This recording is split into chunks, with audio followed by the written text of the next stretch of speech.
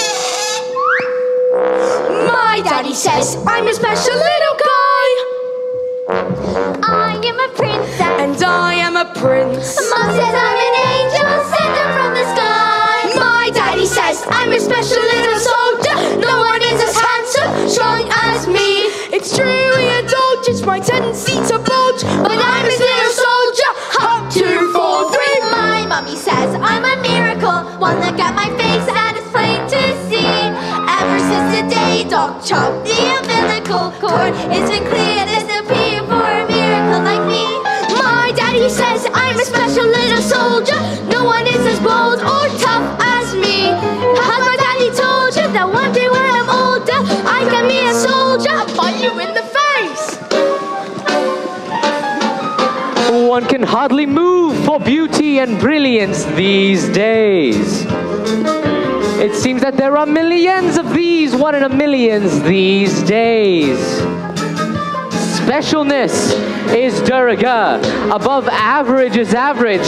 Go figure, is it some modern miracle of calculus that such frequent miracles don't render each one unmiraculous? My mommy says I'm a miracle. One look at my face and it's plain the umbilical cord, it's been clear there's no peer for a miracle like me. My mommy says I'm a precious Paraline. She has never seen Richard Paraline. Mom says it's one keen I have to cut down on the cream, but I'm a Paraline, so give me more cake. Take another picture of our angels from this angle over here. She's clearly more emotionally developed than her peers. What's her deal? You honey, look at mommy. Don't put honey on your brother. Stop, mommy, mother. I think she blinks. Take another. Have you seen his school report? You got to see on his report. We'll have to change his school. His teachers are falling short. Just delightful. So hilarious. And insightful. Must she be a little brighter than in class? Oh, yes, she's definitely advanced.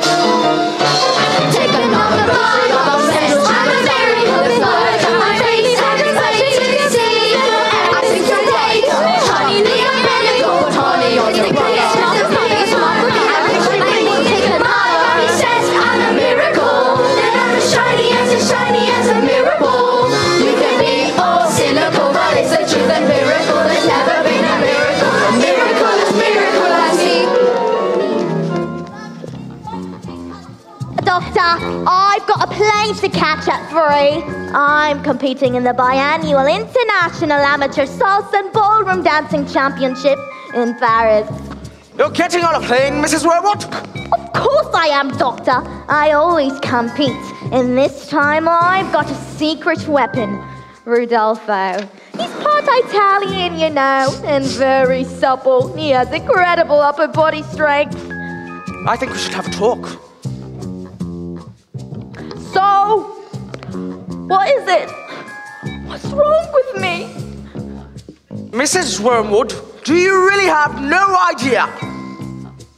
Wind? Mrs. Wormwood, I want you to think very carefully. What do you think might be the cause of this? Am I? Am I? Look, am I fat? Mrs. Wormwood, you're pregnant! What? You're going to have a baby! But I've already got a baby! I don't want another one! You're nine months pregnant. A baby, Mrs. Wormwood. A child. The most precious gift that the natural world can bestow upon us has been handed to you. A human being, a life, a person. A wonderful new person is about to come into your life to bring love and wonder. Life I bring into this world restores my faith in humankind. Push, Mrs. Wormwood, push! I'll push you in a minute! Each newborn life,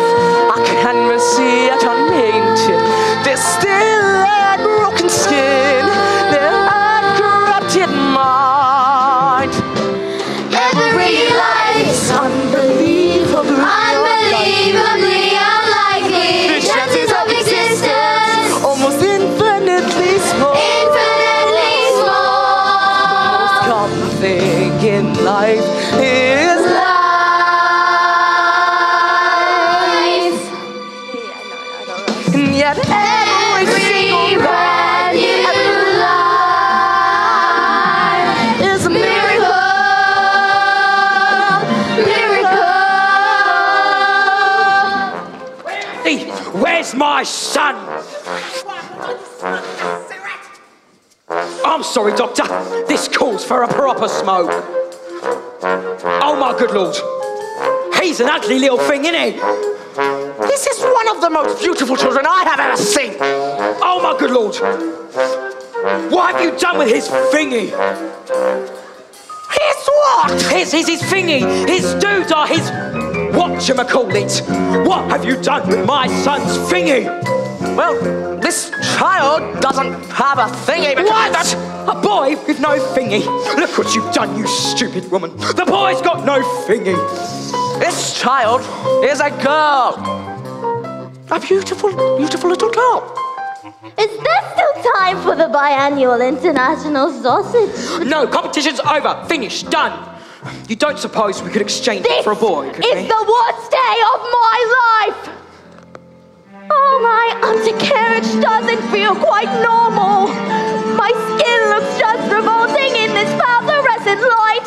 This gown is nothing like the semi-formal, semi-Spanish gown I should be wearing in the semi-finals tonight. I should be dancing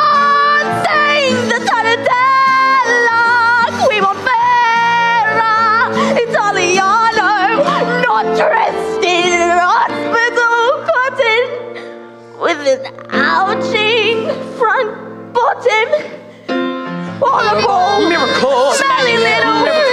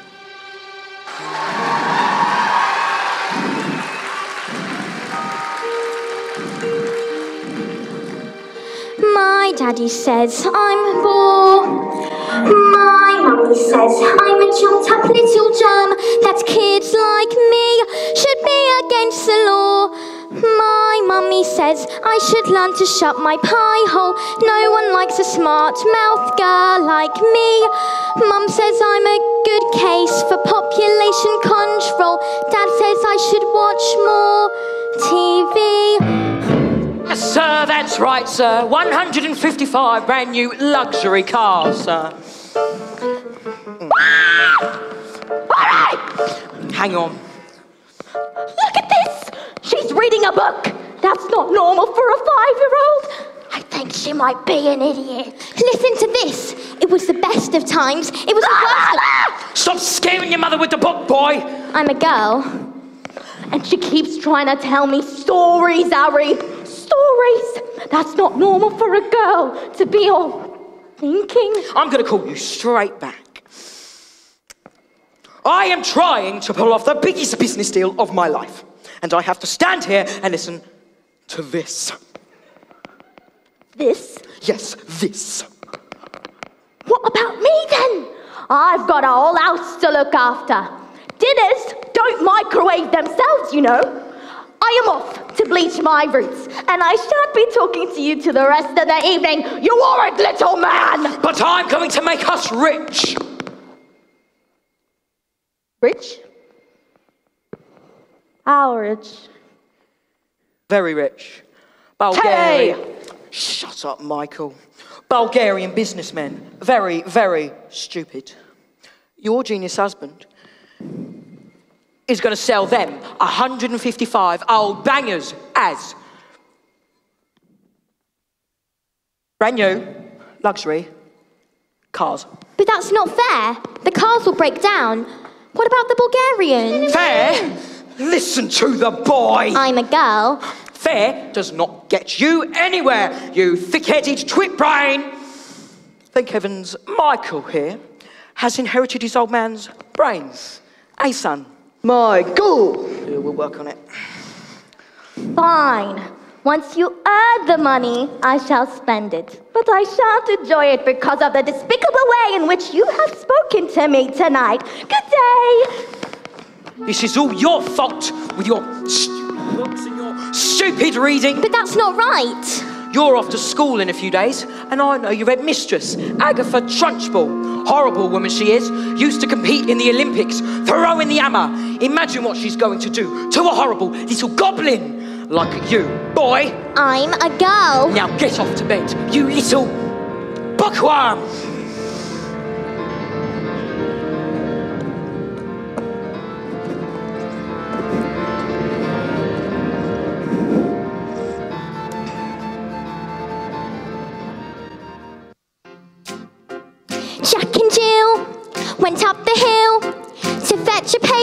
Water.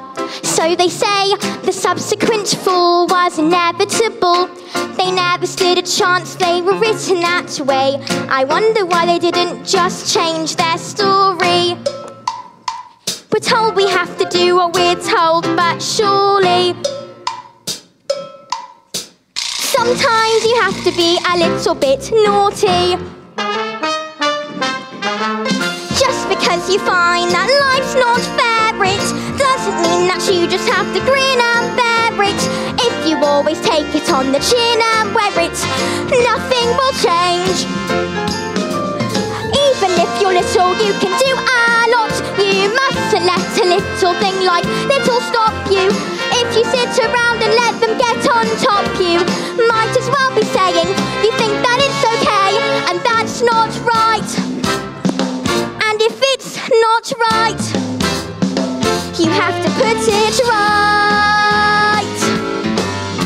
But nobody else is gonna put it right for me. Nobody but me is gonna change my story.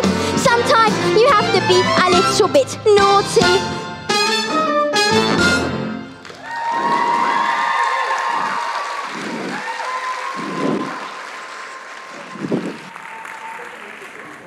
Platinum blonde hair dye. Extra strong. Keep out of reach from children. Hmm.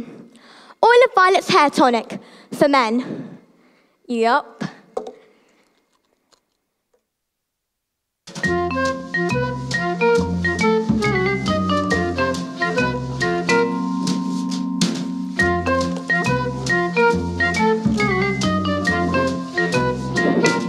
Dad, Dad, you what? know, I think I might be the smartest one in my class. Uh-huh. I got 1% on my science test, Dad. Delusions, Michael, delusions. You know, I think I might go to Harvard someday, Dad. Don't you think? Mm-hmm. Anyways, I'm gonna go watch some telly, all right? I, need Yeah. to, I need to find the controller, anyways. Oh, the Where is remote's on the couch somewhere. I don't oh. know. Dad, What, Michael? your hair's green. My what is what? Your hair! It's grey. My what is what? My what is what? My what is what? Oh my good lord! My hair, my beautiful hair. Why on earth have you done that for? Maybe you used some of Mummy's peroxide by mistake. That's exactly what you've done! You stupid, stupid man! I've got my deal today. The, the, the, the Bulgarians. What am I going to do? What am I going to do? I know what you can do. What? Oh, please tell me, please tell me. You could pretend you're an elf. You could pretend you're an elf. What are you talking about, you fool? The boys a loony. The boy is a loony! Mum, would you like to hear a story? Don't be disgusting! The sooner you're off to that school, the better.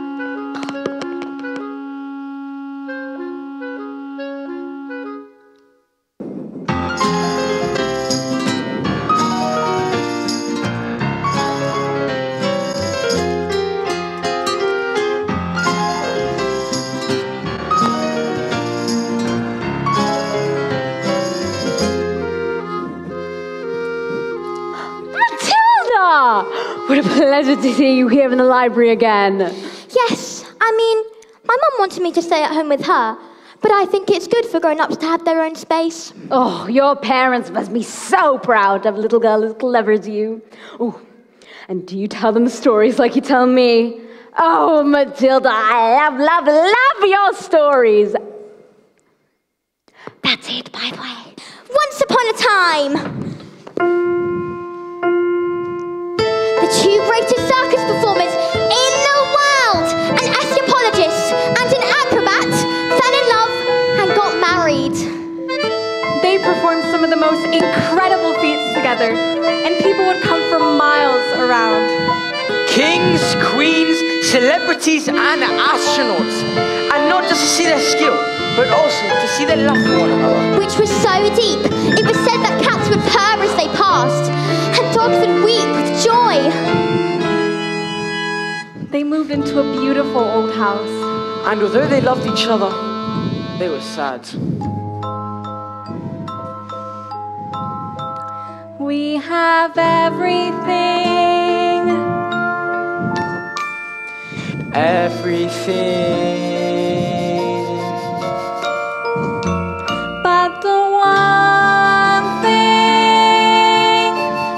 Not have a child. Their sadness overwhelmed them, and their work became the only place they could escape the inescapable tragedy of their lives. And so, it was decided for them to perform the most dangerous feat that had ever been performed.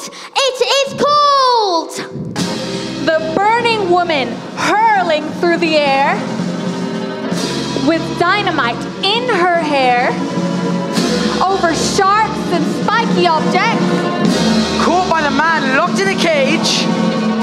and it is the most dangerous feat ever known to man It It is our destiny! oh well what happened I don't know yet. I'll tell you tomorrow. after your first day of school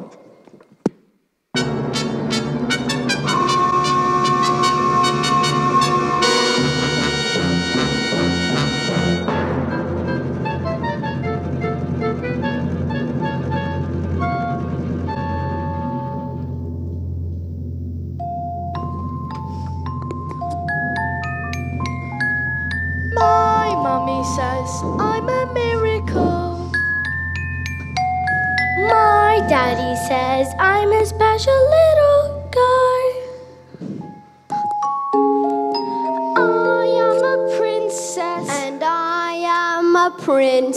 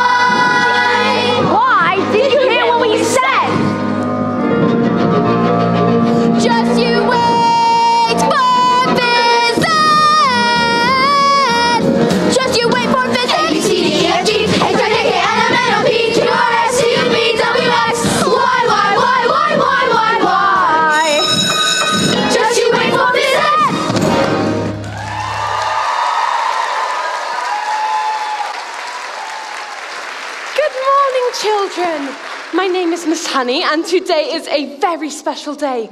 Your first day at school. Now, can anyone read what's on the board? Me, me, me, me, oh, big me, me, me, me. Oh. Very well, Nigel. Uh, I think we better leave it there, Nigel. We don't want you bursting a blood vessel on the first day. Um, Lavender? Is the first word tomato? Um, no, but tomato is a very good word. Yes. Matilda? I can now read words. So you can read words, Matilda? Well, yes. I had to learn to read words so that I could read sentences, because basically a sentence is just a big bunch of words. And if you can't read sentences, you've got no chance with books. And have you read a whole book yourself, Matilda? More than one. I love books. Last week I read quite a few. A few? What books did you read? Nicholas Nickleby, Oliver Twist, Jane Eyre, The Lord of the Rings, Crime and Punishment, and The Cat in the Hat. Right, everyone off to your next lesson. Come on.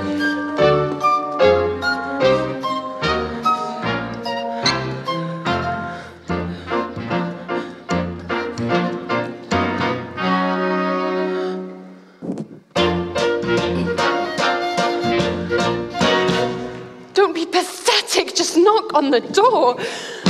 Enter. Well, don't just stand there like a wet tissue. Get on with it. Oh, yes, Miss Trunchbull, there's.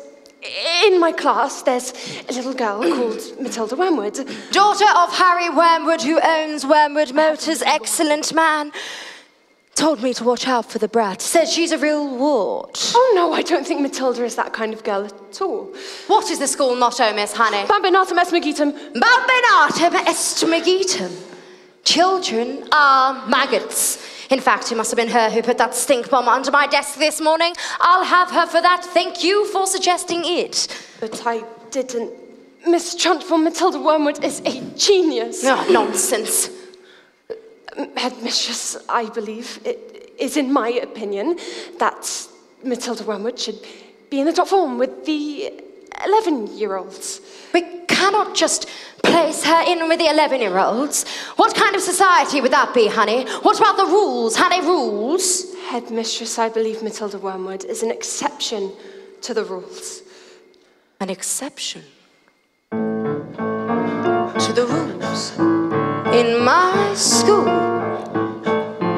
Look at these trophies see how my trophies gleam in the sunlight. See how they shine. What do you think it took to become English hammer throwing champion? 1969. Do you think in that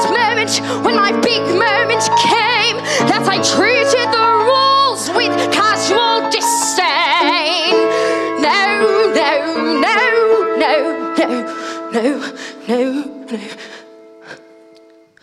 If you want to throw the hammer for your country, you have to stay inside the circle all the time. If you want to make the team, you don't use sympathy or self esteem. You just need to keep your feet inside the line. Sing, children. Two, three, four. Want to throw the hammer for your country. You have to stay inside the circle all the time. And if you want to teach success, you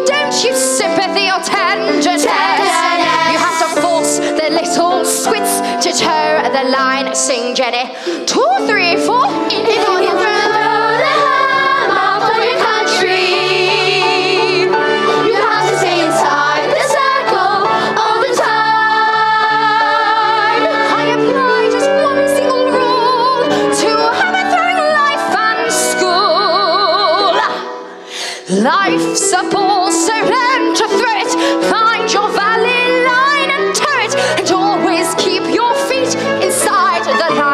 Now get out.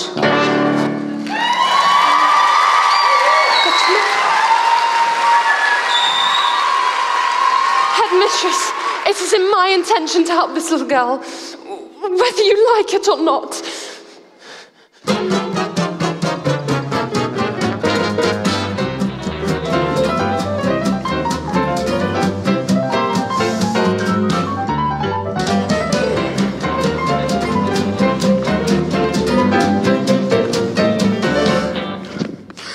Stupid, nasty question asking Bulgarians. Oh, don't tell me. Telly! We're not rich. He took one look at the mileage on the first car and decided all of them cars were knackered. So I told him that the mileage was so high because of a manufacturing mistake. So you lied. Of course I lied. And they didn't believe you. And they didn't believe you. Of course they didn't believe me. Thank you, Michael. I've got green hair! I've got hair. And what's this? Hmm? Another flaming book. No, it's a lovely book. Honestly, you should read it. I'm sure you. Here's what I think of your lovely. No, it's a library book. Stop it. No.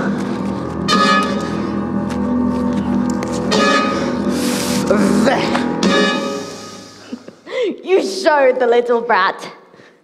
I'm late for my dance rehearsal with Rodolfo. Rodolfo? Who? the-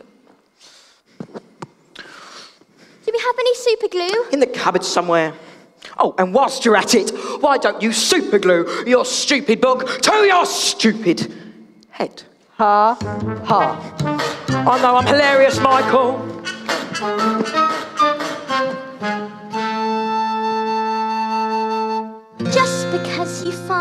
That life's not fair, it doesn't mean that you just have to grin and bear it. If you always take it on the chin and wear it, and nothing will change. Even if you're little, you can do a lot. You mustn't let a little thing like little stop you. If you sit around and let them get on top, you might as well be saying you think that it's okay, and that's not right.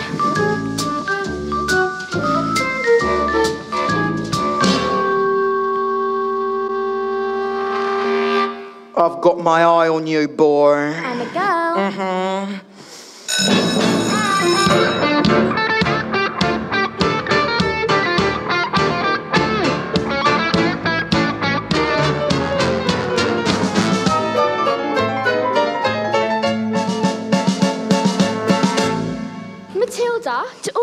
Brains inside your head give you a headache?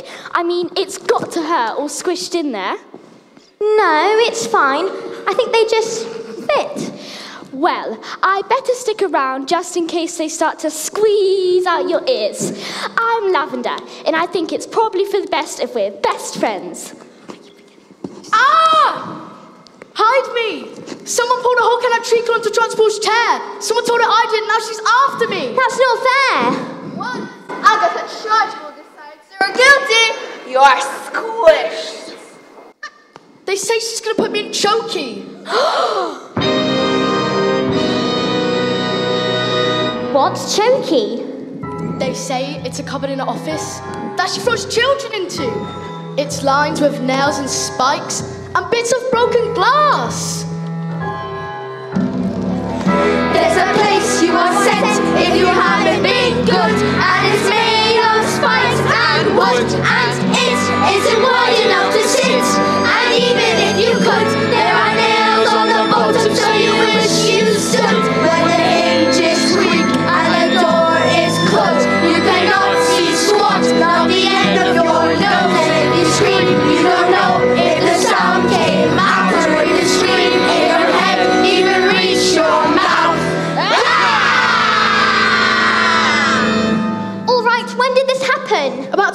About 20 minutes ago. Why?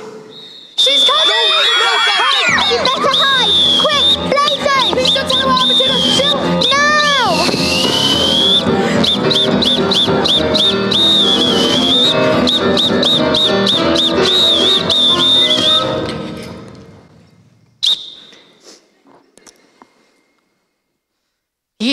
You, snivelling little squib, where is the maggot known as Nigel? He's over there under those blazers.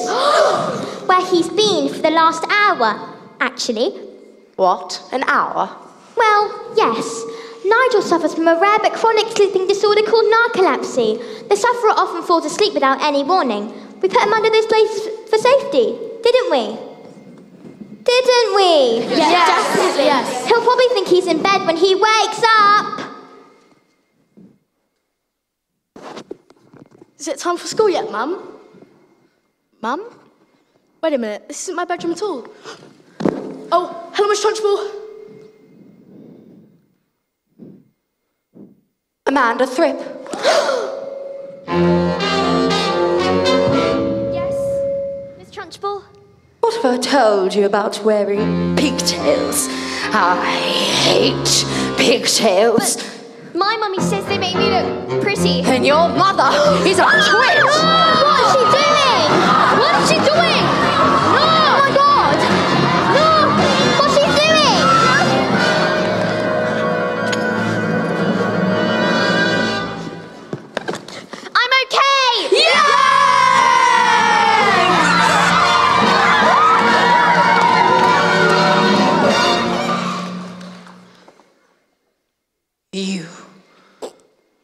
What is your name?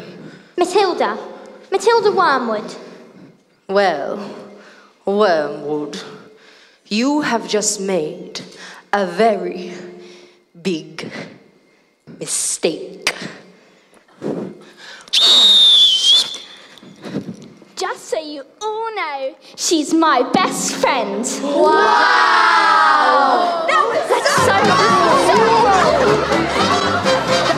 Oh no, completely different cars this time, sir.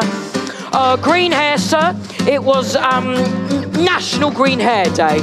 A celebration of sorts of, for all the wonderful green things in the world, like lettuce and snot. Tomorrow at one, sir. Oh, absolutely, sir. I'll be there. Mm-hmm. Goodbye now. Bye-bye. Now that is how you do business. Bi- Bit. Bit. no. No! I'm gonna leave it on. It looks like rain.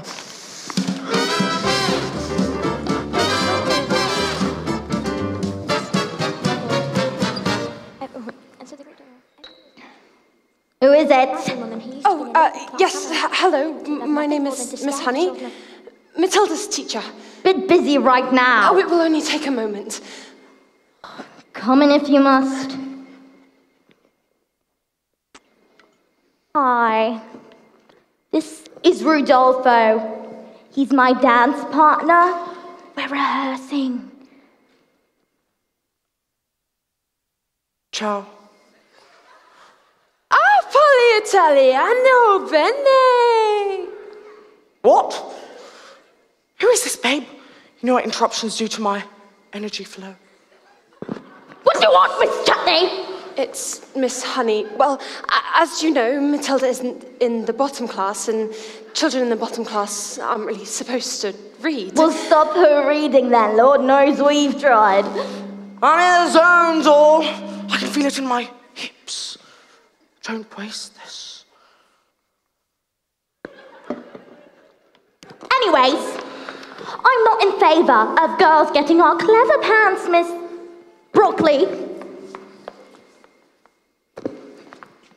Looks are more important than books.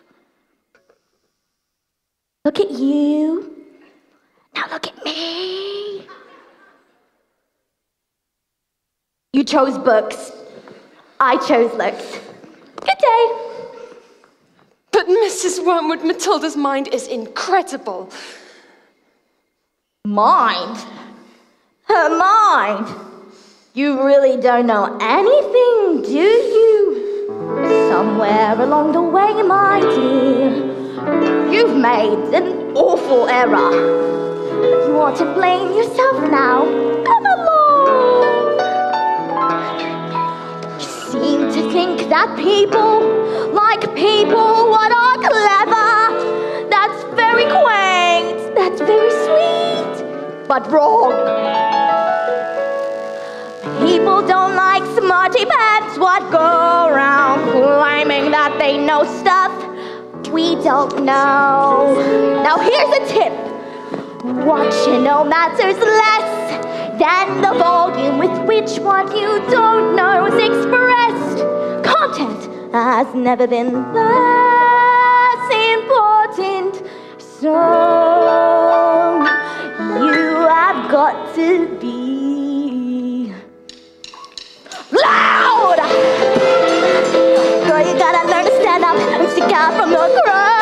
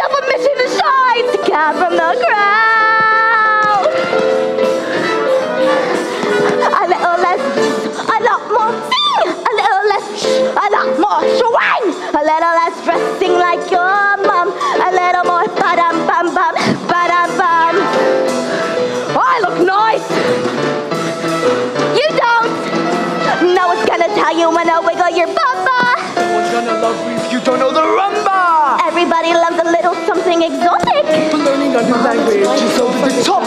It doesn't really matter if you don't know, no. As long as you don't know it with a bit of clout. The less you have to say, the louder you get it. The less you have to say,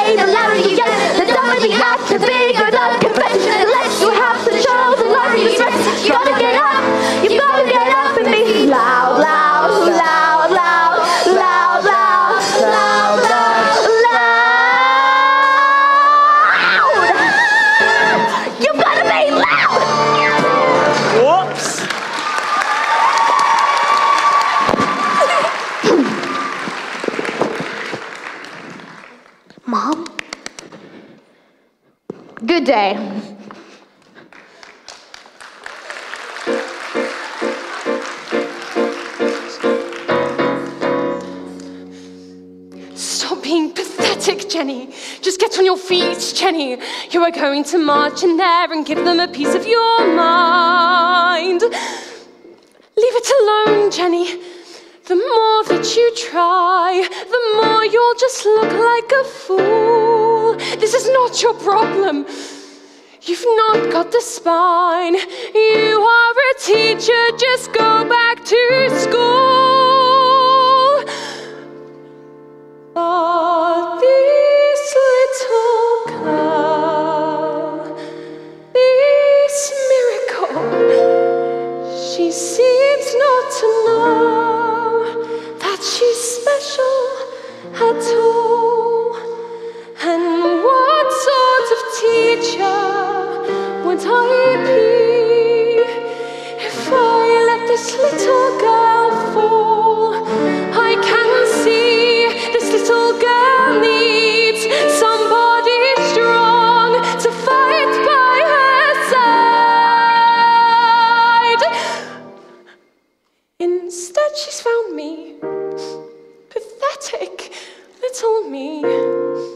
and another dog sees, and Jenny's outside.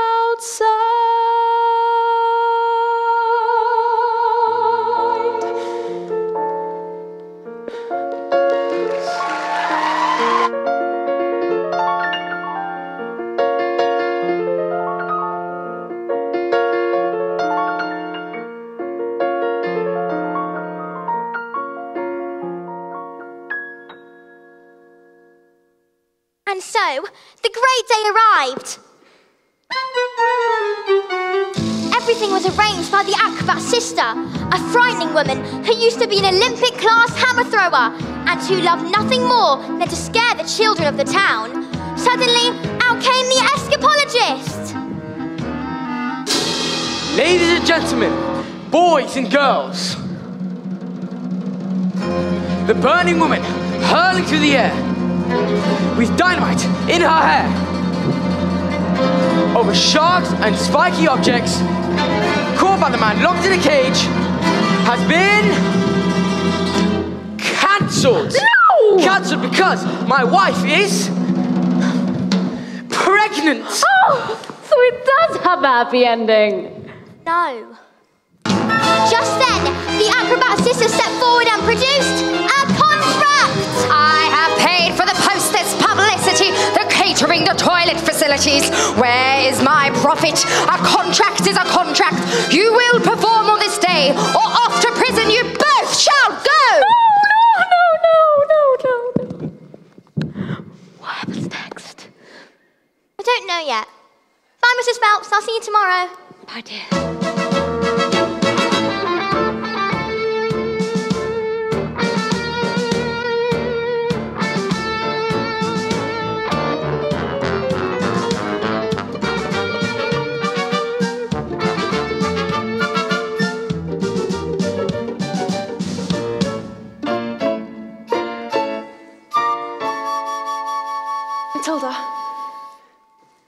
Starting from tomorrow, I shall bring in a selection of very clever books to challenge your mind. You may sit and read them while I teach the others, and if you have any questions, well, I will do my best to answer them. How does that sound? Why, Matilda, this is the biggest hug in the world. You're going to hug all the air out of me. Matilda Wormwood! Where is Matilda Wormwood? Yes, Miss Trunchbull? Aha, so you admit it, do you? Admit what? This morning, this foul carbuncle sneaked like a serpent into the kitchen and stole a slice of my private chocolate cake from my tea tray. No, I did not. Miss Trunchbull, Matilda's been here all morning. Sticking up for the little spitball, are you? Well, this crime took place before school started. Therefore, she is guilty. Okay, look, I stole the cake.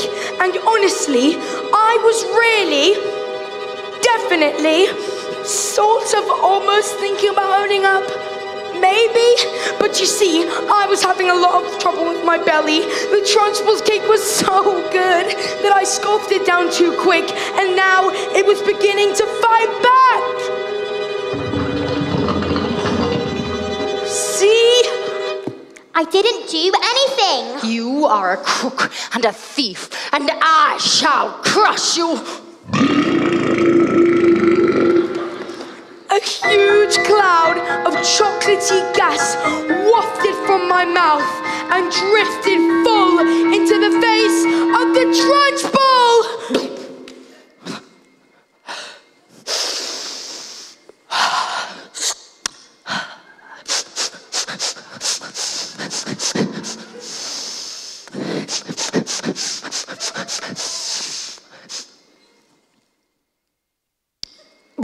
Bogtrotter. Yes, miss. You liked my cake, didn't you, Bruce? Yes, Miss Trunchbull, and I'm very sorry. Oh, no, as long as you enjoyed the cake, that's the main thing. Is it? Yes, Bogtrotter, it is. Oh, well, I did. Thank you. Wonderful. Marvellous.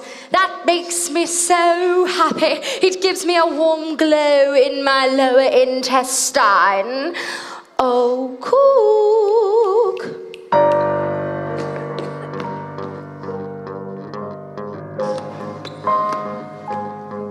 What's the matter, Bogtrotter? Lost your appetite? Well, yes, I'm full. I will tell you when you are full, and I say criminals like you are not full until you've eaten the entire cake. But no buts. Eat. Headmistress, he'll be sick. He should have thought of that before he decided to steal my cake. Eat. Eat. Eat. He might explode. Eat. A single slice, or even two,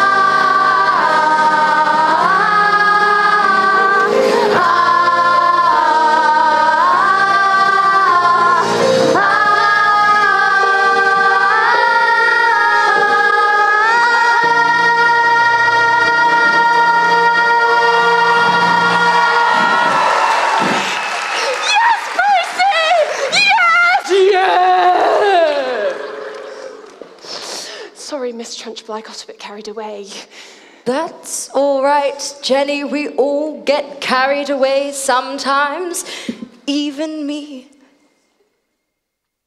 Well, done, Bogtrotter. Good show.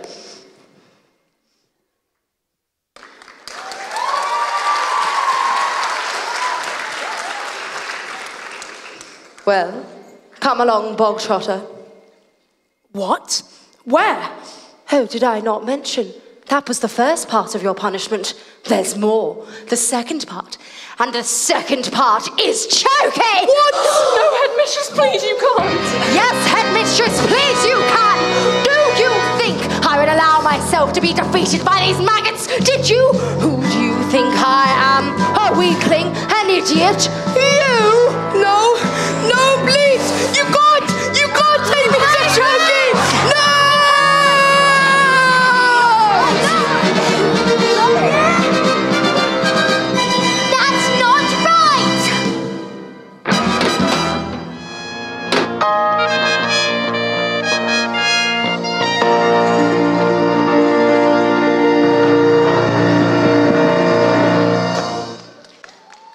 Settle down, everyone. I've got a show to finish.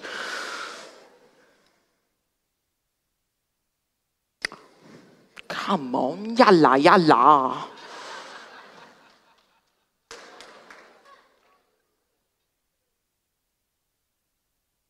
Here, let's start.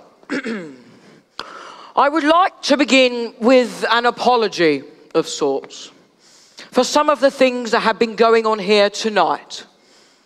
They are not nice things, they are not right things. So, I would wish to state guarantorically that we do not want any children who have come to watch us tonight to try these things out for themselves.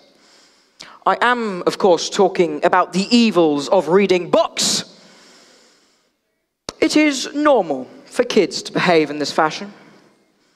It stunts the brain, wears out the eyes, makes kids ugly, stinky, fatty, sweaty, Betty, boring, and gives them verrucas of the mind. Under no circumstances do we condone such activities, and we do so without reservoirs. Can I just ask, how many people who have come here to watch us this evening have ever read a book? Oh my good lord, there's a lot of you. I might throw up. So I'm not biased. Yo, what is your name? Speak up. Eleanor. Eleanor. Don't take this the wrong way, Eleanor. But Bookworm, bookworm, stinky little bookworm, you read books. Worms read books. Worms are stupid. You are stupid. You read books like a worm.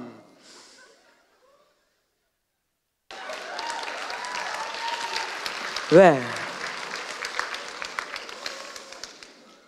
Eleanor, I've probably forgot. Uh, did I get it right? Eleanor? Good.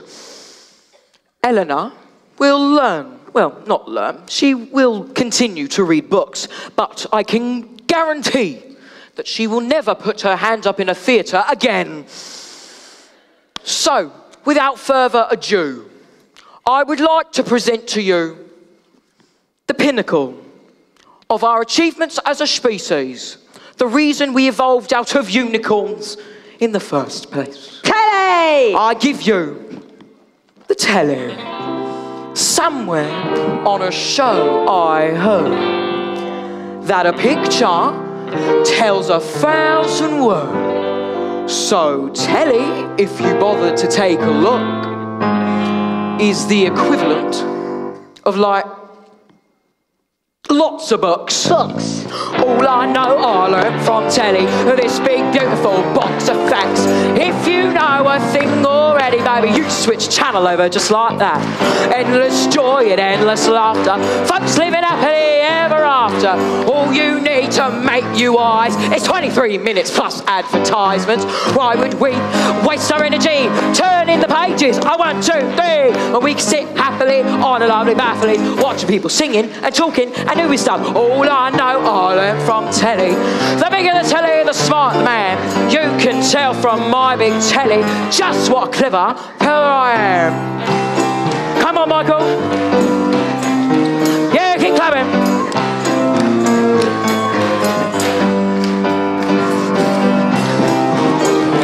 I'm gonna rip my pants.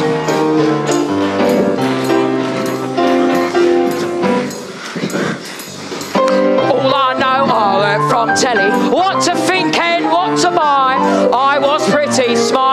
but I'm really, really smart. Very, very smart.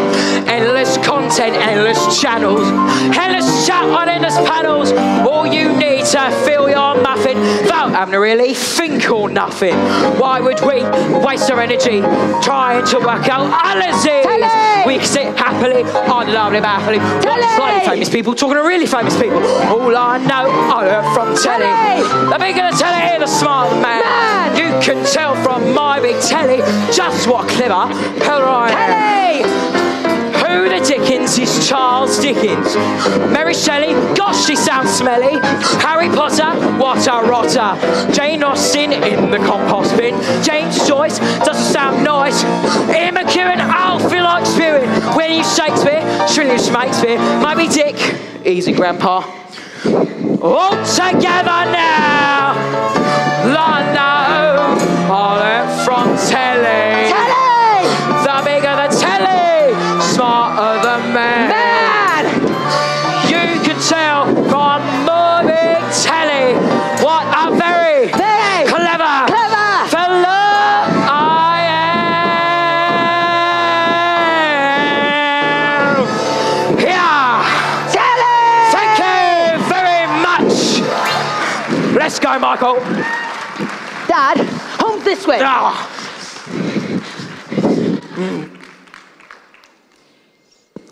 I am very excited because this next bit is all about me!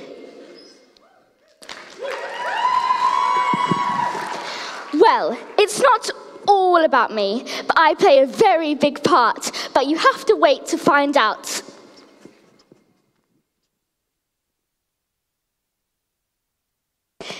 Okay, so the Trunchbull asks for a jug of water, and no! It's a surprise!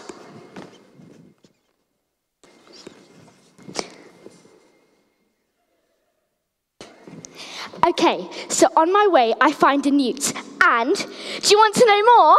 Yeah. Oh, come on, I can't hear you. Yeah. Okay, no! It's a surprise!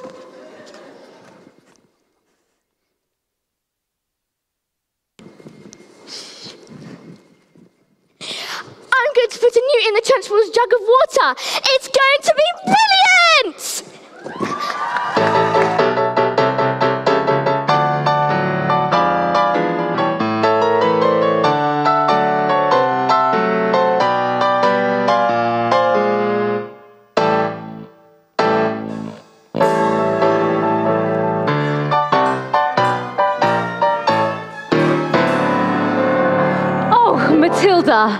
Thank goodness you're here. I'm dying to hear the next part of the story. I haven't slept a wink. Mrs. Phelps? Yes? Where's the revenge section? What? Is there a child at school who's behaving like a bully? Not a child exactly. Do you want to hear the next part of the story? What are we waiting for? As they prepared themselves for the most dangerous feat that have ever been performed, the acrobat gave her husband a kiss.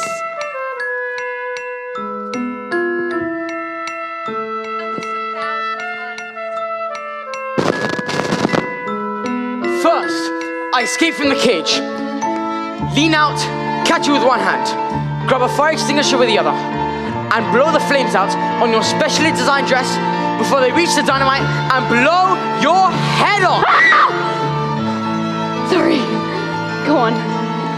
The trick started well. The moment the dress was set alight, the acrobat swung into the air. She hurled over the sharks and spiky objects. Suddenly, the padlocks pinged open and the huge chains fell away. The door flung open, and the escapologist reached out to catch his wife and the child. Oh my god, look! He grabbed her hand, and the flames are covered in foam before they can both be blown to pieces. Hooray! Yes, yes, yes! So it does have a happy ending. No. No? The escapologist used just a touch too much foam, and the hands became slippy, and she fell. she broke every bone in her body, except for the ones at the ends of her little fingers.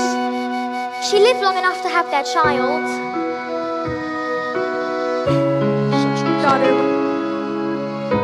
we've ever wanted. Died.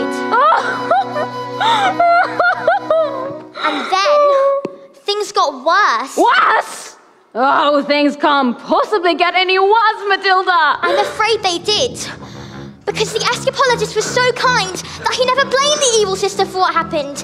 In fact, he asked her to move in and help look after his daughter. She was nothing but cruel to the little girl, beating her as if she ever did anything wrong. But always in secret, so that the escapologist never suspected a thing. Let's call the police! Mrs. Phelps, it's just a story. What? Oh, of course. Sorry. Bye, Mrs. Phelps. I'll see you tomorrow. Bye, dear.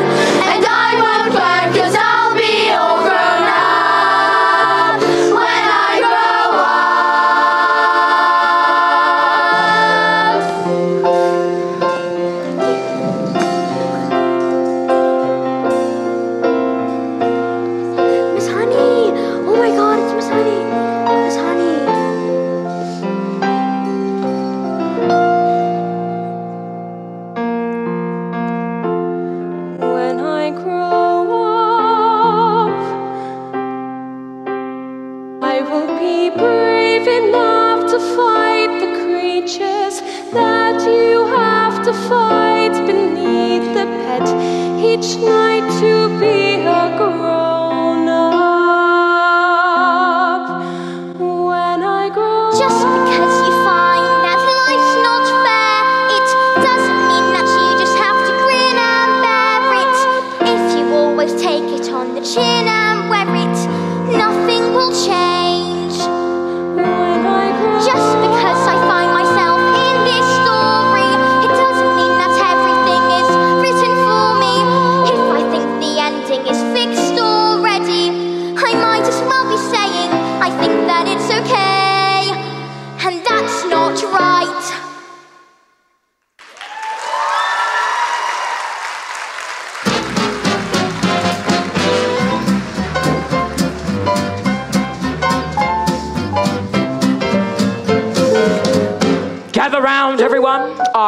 my family to share in my triumph.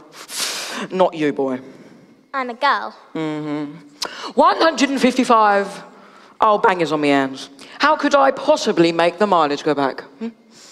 I couldn't very well drive each one backwards, could I? Backwards! Mm-hmm.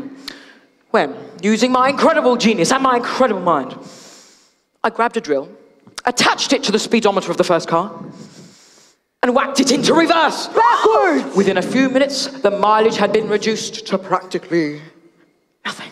Backwards! Then the Bulgarians show up. Expensive suits, dark glasses.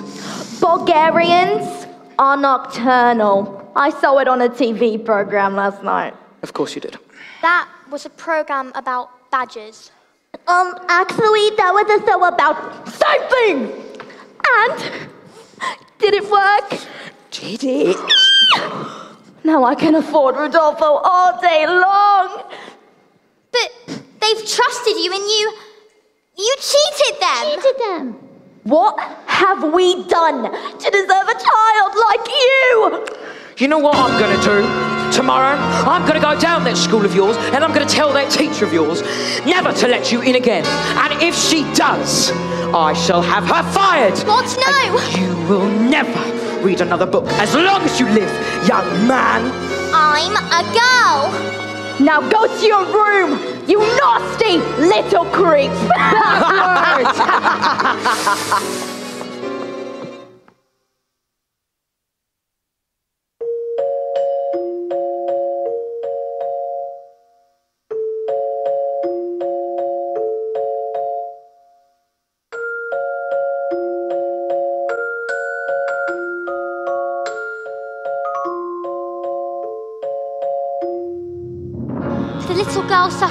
silence, never saying a single word about the evil aunt's bullying. This only encouraged the woman to greater cruelties. Until one day, she exploded! You are a useless, filthy, nasty little creep! And the aunt beat her and threw her into a dank, dark, dusty cellar, locked the door, and went out. Have I been so wrapped up in my grief for my wife that I have forgotten the one thing that mattered to us most? I love you so much, and I shall spend the rest of my life making it up to you.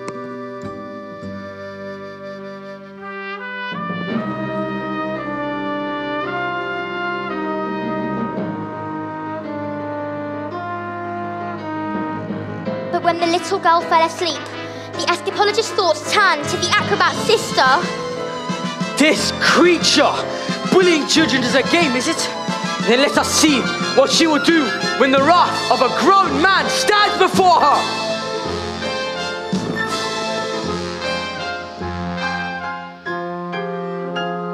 But that was the last the little girl ever saw of her father.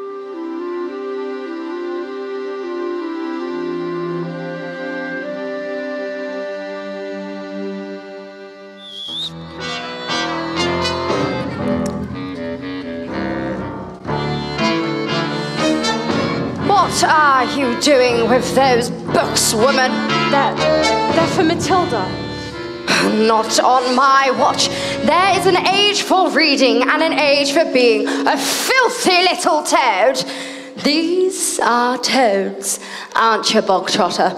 Yes, Miss Trunchbull, except Bogtrotter here is now a good toad. Sit. Miss Honey, you believe in kindness and fluffiness and books and stories. That is not teaching. To teach the child, we must first break the child. Quiet, you maggots! But, Miss Trunchbull, no one was speaking. Miss Honey, when I say quiet, you maggots, you are entirely included in that statement. Where's my jug of water? I'll get it, Miss Trunchbull. Stupid girl. Look at you, flabby, disgusting, revolting, revolting, I say. I think it's time we toughened you up with a little phys ed.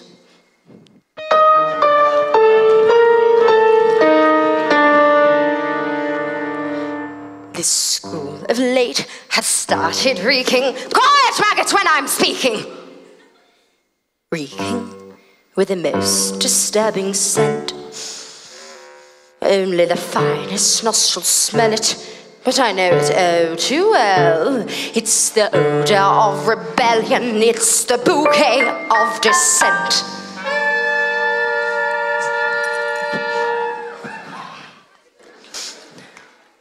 The smell of rebellion comes out in the sweat. And his head will get you sweating. And it won't be long before I smell the pong of aiding and abetting. A bit of his head will tell us who has a head full of rebellious thoughts. Held, held, just like a rotten egg floats to the top of a bucket of water.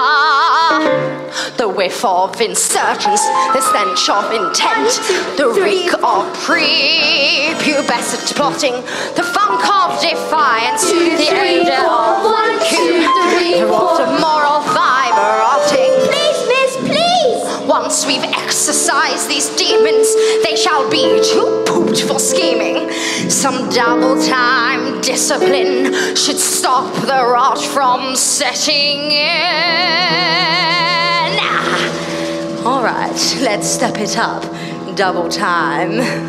One, two, three, four. Discipline, discipline for children who aren't listening. The miss I need a tissue, it's an issue we can fix. There is no mystery to mastering the art of classroom mistressing. It's discipline, discipline, discipline. The smell of rebellion, the stench of revolt, the reek of prepubescent plotting, the funk of defiance, the waft of reassurance, the funk of moral fiber rotting.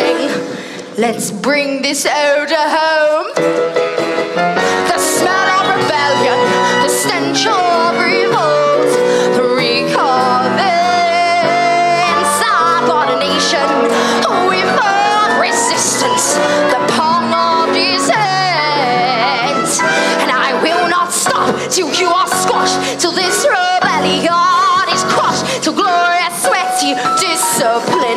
Washed this sickening stench. Ah.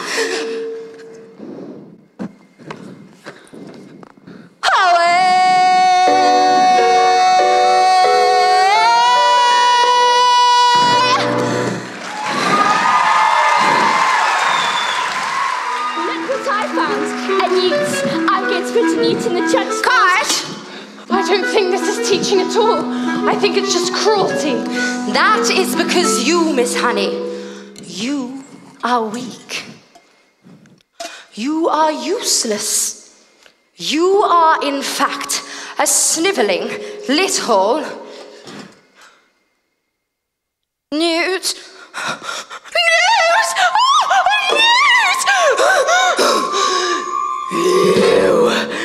Oh, newt! You, you cockroach!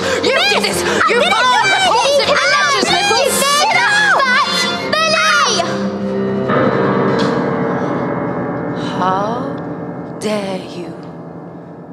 You are not fit to be in this school.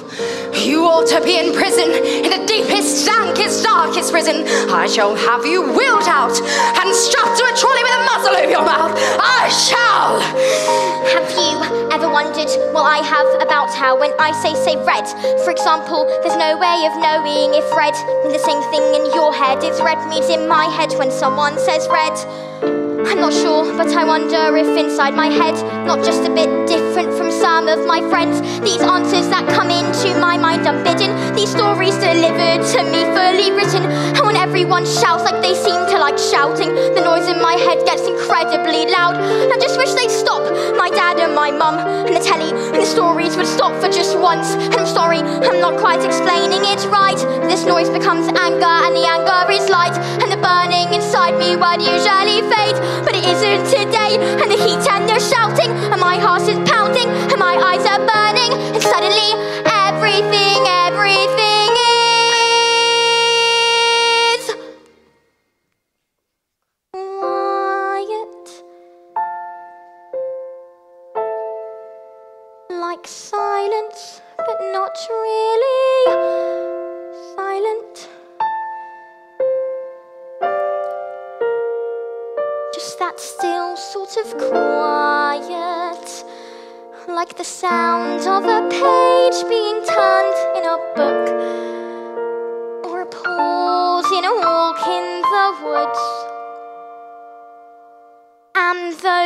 people around me, their mouths are still moving,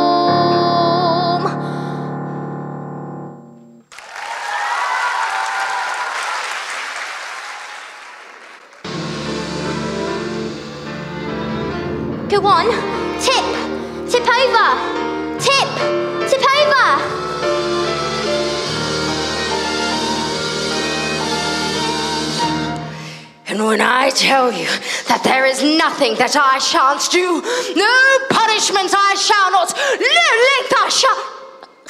What? What, what are you laughing at? What is it? What? The news. The news. It's, it's, oh, oh, oh, oh it's heading north. Oh. I've got a newt in my knickers. I've got a newt in my knickers. I've got a newt in my knickers. Oh, please. Oh, I've got a newt. Oh. Well, that was interesting. I think we better all go home while we still can. Matilda? what was that? Hilarious. Watch.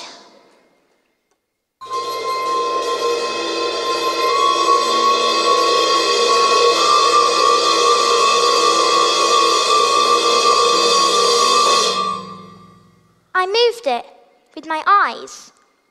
Am I strange? Would you fancy a nice cup of tea? What do you think it is? This thing with my eyes. I can't pretend that I know, Matilda, but I don't think we should be frightened of it. I think it's to do with that incredible mind of yours. You mean there's no room in my head for all my brain, so they have to squish out through my eyes? Well, no, not exactly, but something like that. You really are a special little girl, Matilda. I met your mother. She's interesting. What about your father? Is he as proud to have a daughter as clever as you? Oh, yeah, he's always saying, Matilda, I'm very proud to have a daughter as. That's not true, Miss Honey. He calls me a liar and a cheat and a nasty little creep. I see. Well, here we are, home sweet home. Are you poor? Uh, well, yes, Yes, I am, very. Don't they pay teachers very much? Well, actually, they don't, but I'm even more poorer than most because of other reasons. You see, I used to live with my aunt, but one day I was out walking and I came across this old shed. I fell completely in love with it. And I ran to the farmer and begged him to let me move in. He thought I was mad, but he agreed, and I've lived here ever since. But, Miss Honey, you can't live in a shed.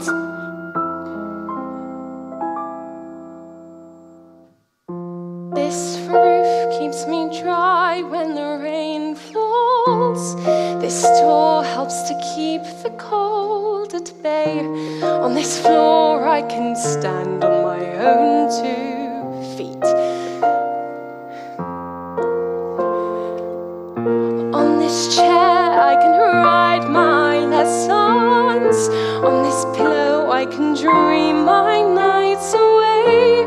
And this table, as you can see, well, it's perfect for tea.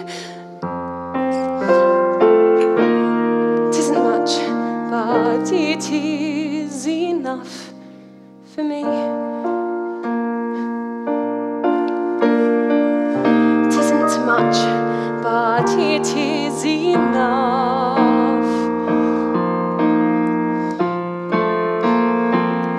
On these walls, I hang wonderful pictures. Through this window, I can watch the seasons change. By this lamp, I can read, I, I am set free. And when it's cold outside, I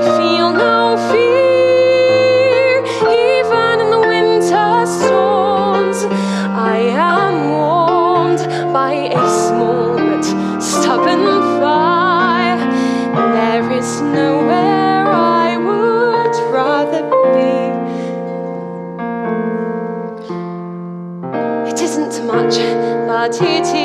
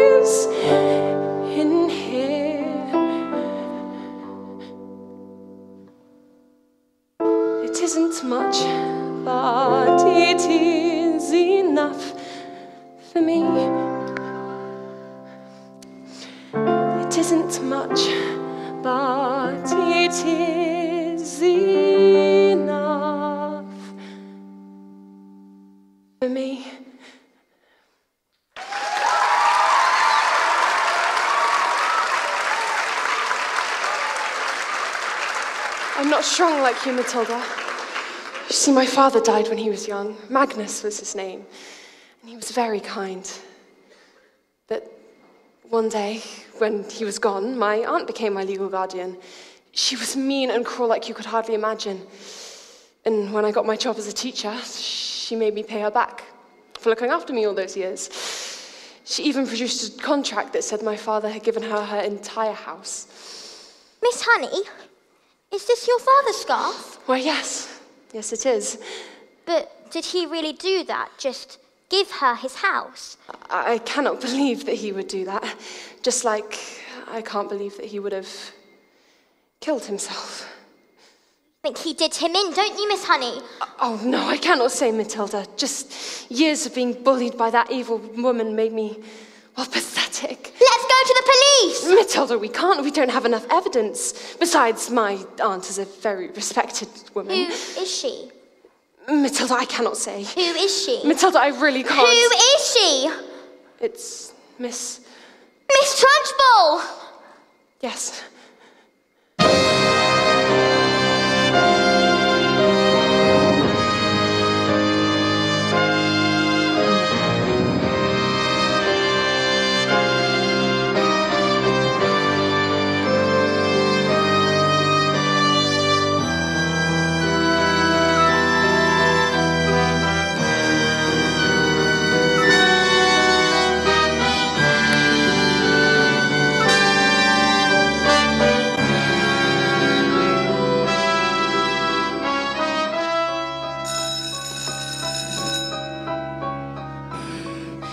This class is going to have a very special spelling test.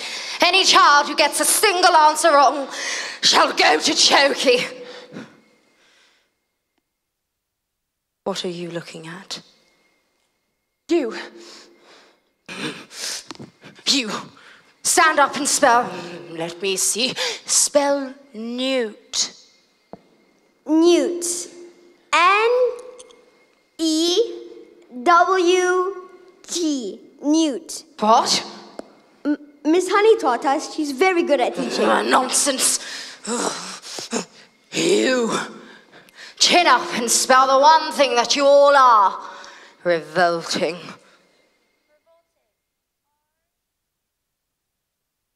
O L T I N G. Revolting. Ah, you're cheating! I taught them, that's all. With kindness, patience, and respect. How dare you bring those words into my classroom? You know nothing of teaching, and I shall prove it. You spell Amchala Caminil Septicanis Timosis. That's not even a real word, you've just made it up. Spell or go to Chokey. A M C H E L L A Oh dear. Oh dearie dear. K It was a silent Z. You're going to choke it.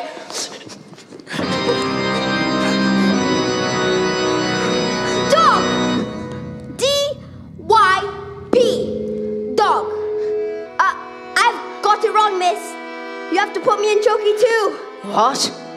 Cat! C A F. Cat! And me! Table. X A B F Y.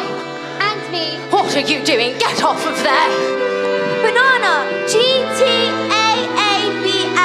You can't put us all in choking. Oh, get out of here! W, Revolting.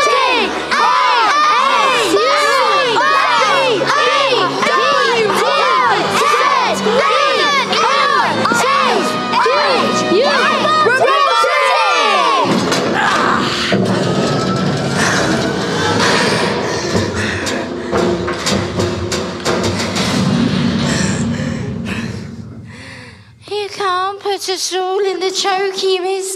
You want to put me in the chokey too. Come now, maggots. Do you really think I hadn't thought of that? I've been busy. An array of chokies for each and every one of you. Look! The chalk! It's lifting! What? Agatha,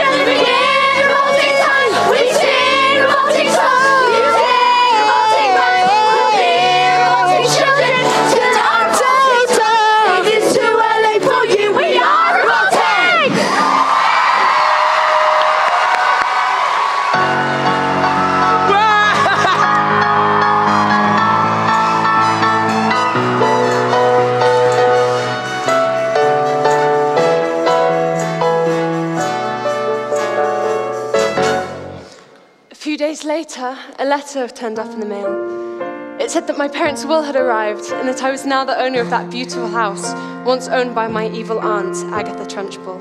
He was never seen again. The trophies were immediately destroyed, and a new headmistress took over. And her name was Miss Honey, and it was often said that her school was the best in all the land. Matilda was never again able to move things with her eyes. She said she didn't need to move to move things with her eyes.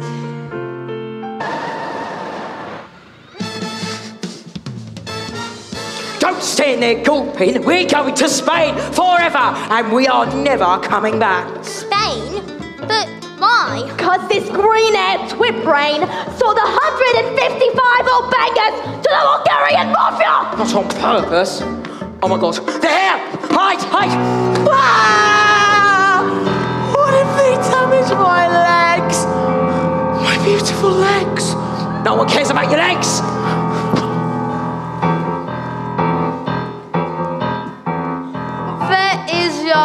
Father? He's. I don't know. The Wormwood is a very stupid man, and I thought I was stupid too. And that is a very, very stupid and rude thing to do. Yes, but I'm afraid my father is very rude. And very, very stupid. You seem smart. Sadly, in my line of work, I often don't get to meet smart people like you. Most of the people I deal with, their thinking is all backwards. Backwards! You idiot. Hello, no. Telly, telly, telly! I can have one of my friends teach your father some. Oh, let go, this is expensive. And one day, when he gets out of the hospital, he will be stupid, but not so rude. What do you say? It's a very tempting offer, but I think I've had enough of revenge. Your father is very, very lucky to have a daughter like you.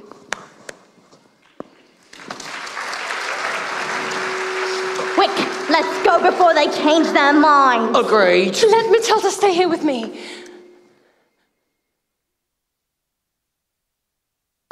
I beg your pardon.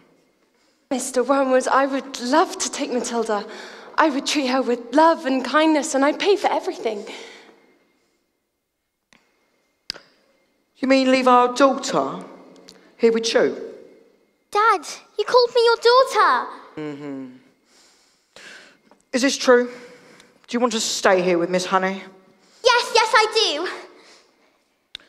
And I suppose you want to look after her. I do. Well, we are a bit short on room, so I suppose so, yes. Thank you.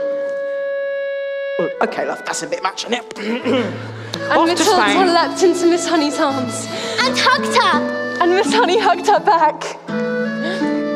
As the Wormwoods, and Rodolfo. as the Wormwoods and Rodolfo sped off because they had found each other. Yes, they had found each other.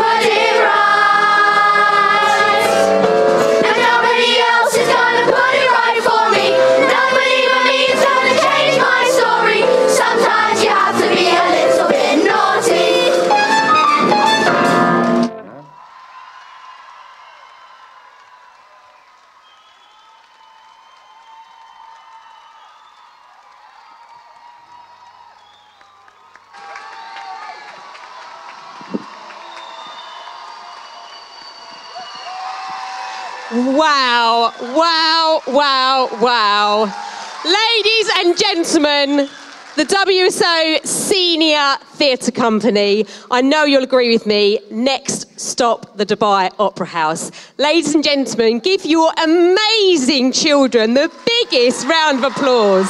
That was phenomenal. Absolutely phenomenal. When I say the Dubai Opera House, I actually mean that. I can't tell you how many parents and staff members spoke to me today and during the break and said to me, Do you know what? We went to Dubai Opera House and we saw Matilda a few weeks ago. And do you know what? You haven't even matched them. You were better. You were just incredible.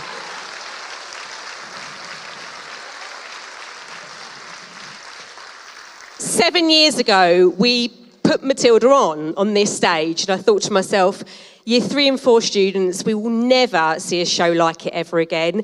And some of the cast members from seven years ago are here as senior students. And you know what? You've proved me wrong. That was the best show I have ever seen on this stage, in Broadway, and the West End. Please give them a huge, huge round of applause.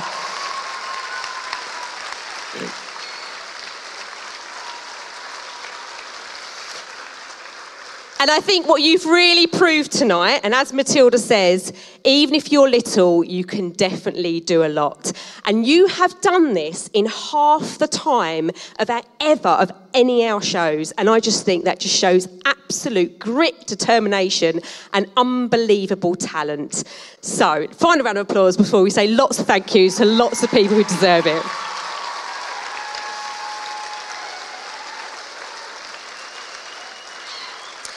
Okay, so with every show, there's a huge team behind the scenes that absolutely make this happen. So first of all, thank you to our wonderful production brand band, who was led by Katie Moral Orchard. Special thanks to Miss Crabtree, Mr. Patrick, Enzo, Abada, and Martin, who are Year 10 and Year 11 students. Let's give our band a big round of applause. What a performance!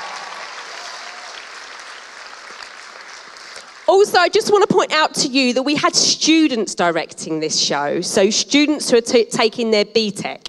Student director Kay Kashwani, our student dance captain Marina, who is here, Marina, and our student assistant for our lighting was Will Smith, and also their musical director Samira Naini, supported by Hannah and Alia with the lighting as well. Can we give those students a round of applause? Thank you. And of course, our parent ambassadors who've really, really supported Fiona, Tasha Allen, Dima, who've supported with the set, Victoria and the Hot Media team who've supported with the programme and the trailer. Thank you so much. Big round of applause to those parents. Thank you. We also have a fantastic partnership with Urdang International and Gemma McMill have really supported through this show. And also I'd like to really say thank you to the VIPs that have attended tonight and our new patron, Taryn Calendar, who is actually from the West End, who've also supported this evening. Thank you to you all. And before we go on to our incredible teachers and performing arts staff, students, what do you say to your parents? Because your parents have been here, supported you, helped you learn your lines, helped you sing the songs, bring you here every weekend and after school. Can you give your parents a big round of applause, please? And then finally, of course, to our amazing performing arts team. So, poster design Lydia, hair and makeup Amy McLaughlin, set design Mike Evans, sound tech, tech Chris Kermuth, props Ella Spragg, costumes Olivia Davidson, student band director and mic tech Morgan Charleston, assistant director Sophia Shakuri. Big round of applause, please. Thank you.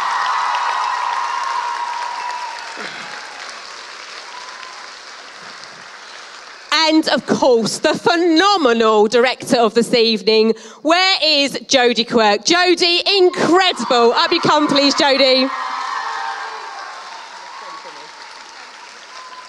Here she is. Jodie, you have such an incredible talent. Thank you. This has just been absolutely amazing. Okay, before we have one more song, the students have asked for the mic back because they also have some thank yous. Thank yous of their own that they haven't rehearsed, they've done this all by themselves. So I'm going to hand back to Rian before the final song. Thank you. Thank you, Miss O'Regan, for your kind words. Um, I think we can all agree that this production wouldn't have happened if it weren't for these people. Uh, so, can I please ask that if your name is called, if you can make your way onto the stage, um, of course, if you can, Mr. Kermith, um, as we have something for each and every one of you. Firstly, can I ask, oh, I will step out of the way. Firstly, can I ask Mr. Evans, Miss McLaughlin, Miss Davidson, and Miss Sprague, who without their help behind the scenes and backstage, I don't know how half of these scenes would have come together.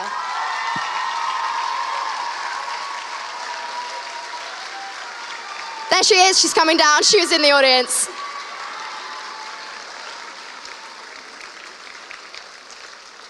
Okay, um, secondly, to Mr. Kermith, Miss Charleston, and of course, Miss Orchard, who without the countless singing and band rehearsals and amazing mics, we wouldn't have sounded as good as we did tonight. Mr. Kermith, I think we'll run yours up to you. So you don't need to come down.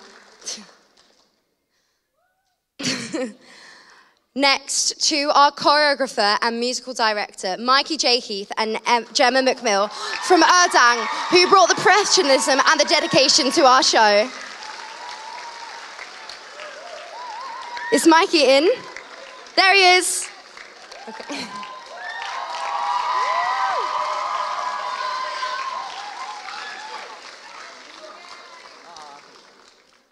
Now, our assistant director, Miss Ash Curry, who has not only helped with everything within the show, but has been up there in the box doing all the amazing projections you see behind us. So, can we have a round of applause? She's coming down.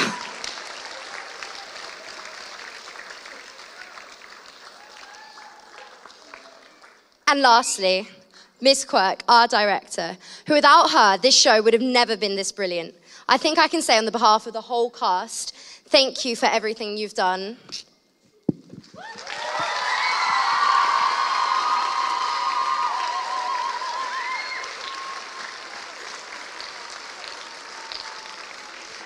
Can we have one more round of applause for this amazing cast and the amazing team?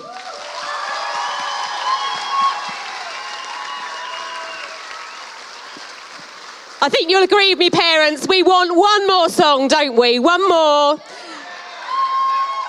Okay, students, you ready? One more song?